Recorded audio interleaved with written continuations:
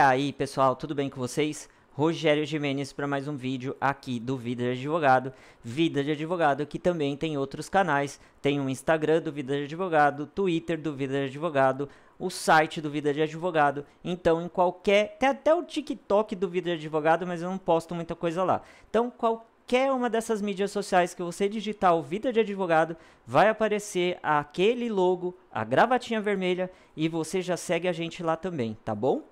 Página do Facebook tá bombando com mais de 159 mil inscritos e um Instagram com mais de tá chegando a 32 mil inscritos. Então segue a gente nos outros canais também.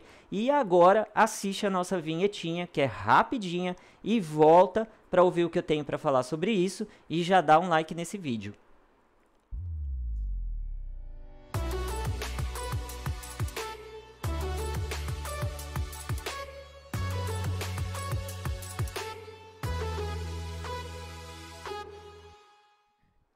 Gente, eu nem falei lá no começo do vídeo para deixar de surpresa, mas hoje eu quero falar para vocês sobre pedido de certidão e falta de caráter de algumas pessoas. Durante a pandemia, eu fiz alguns trabalhos de solicitar certidão para pessoas que precisam. E a gente perde um tempo. Você é advogado autônomo, você para de fazer o que está fazendo para responder a mensagem da pessoa, daí ela tem que te mandar o RG, tem que te mandar os documentos pessoais, tem que te mandar o número do processo. Muitas vezes essa pessoa não tem os dados e você tem que fazer a pesquisa. Ou alguns cartórios exigem que você faça esse pedido através de uma petição e junte uma procuração.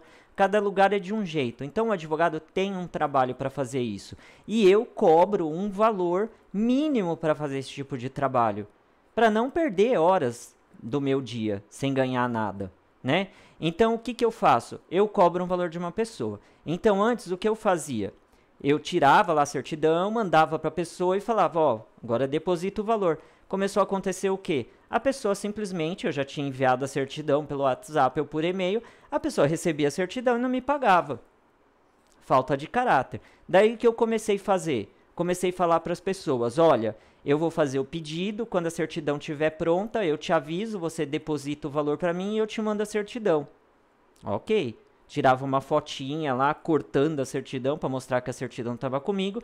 A pessoa me fazia o depósito e eu mandava para ela. Daí agora, o que que, que que está acontecendo? Já aconteceu.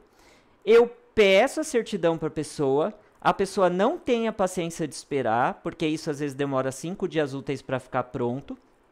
Daí a pessoa simplesmente foi lá no fórum, né? Não me avisou nada, foi lá no fórum e me mandou mensagem: Olha, doutor, já consegui a certidão. Daí eu já tinha feito o pedido. Daí eu falei: Colega, já fiz o pedido. Inclusive, ela chegou hoje. Pergunta se a pessoa me depositou. Não depositou. Então, a partir de agora, por conta de umas pessoas que são, na minha opinião, mau caráter e não têm a hombridade de cumprir aquilo que se comprometeu, eu vou fazer o quê? Quer que eu tire a certidão? Legal, bacana. O número da minha conta é esse. Deposito o valor e a gente passa, conversa. Ah, mas e se eu te depositar e você não me mandar a certidão? Eu jamais vou fazer isso. Eu tenho um canal no YouTube. Eu tenho um nome a zelar. Então jamais vou pegar o seu dinheiro e não vou pedir a certidão. Então agora eu vou fazer dessa maneira, infelizmente, por conta de algumas pessoas que são, na minha opinião, mau caráter tá bom? Um grande abraço, até o nosso próximo vídeo. Tchau, tchau.